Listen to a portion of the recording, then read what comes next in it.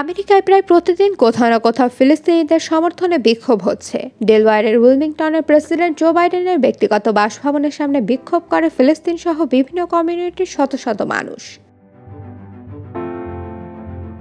এ সময় ফিলিস্তিনের পতাকা নিয়ে বিভিন্ন স্লোগান দেওয়ার পাশাপাশি যুদ্ধবিরতির দাবি জানান তারা।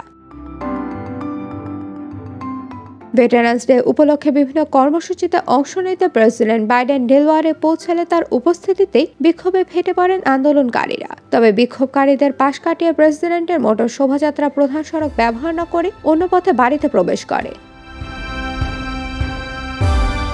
এদিকে ইসরায়েল হামাস যুদ্ধ বন্ধে কলম্বিয়া ইউনিভার্সিটিতে সড়ক দুটি সংগঠনকে সাময়িক বরখাস্ত করেছে বিশ্ববিদ্যালয় কর্তৃপক্ষ।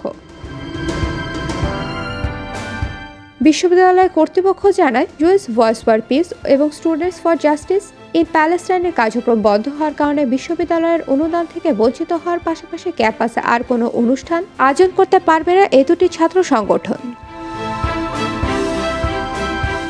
অন্যদিকে সাধারণ ফিলিস্তিনিদের উপর বর্বর হামলার প্রতিবাদে উত্তপ্ত যুক্তরাষ্ট্রের অভ্যন্তরীণ রাজনীতি। বিরোধী দল ছাড়াও ইসরায়েলকে বিবেকশূন্য অর্ধ সমর্থনে নিজ দলে ব্যাপক সমালোচনার মুখে রয়েছেন president Biden.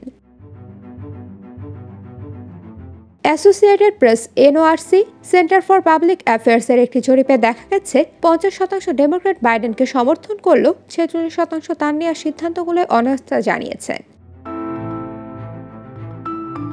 গাজায় ইসরায়েল হামাস যুদ্ধকে কেন্দ্র করে ডেমোক্রেটদের নীতি নির্ধারণী পর্যায়েও দেখা দিয়েছে গভীর বিভাজন। পাঁচশো জনেরও বেশি বাইডেন সমর্থক প্রচারকর্মী গাজার পক্ষে কথা বলছেন। অনেকেই মনে করেছেন বিষয়টি বাইডেনের পুনর্নির্বাচনের যাত্রাকে জটিল করে তুলবে। IBTV USA New York.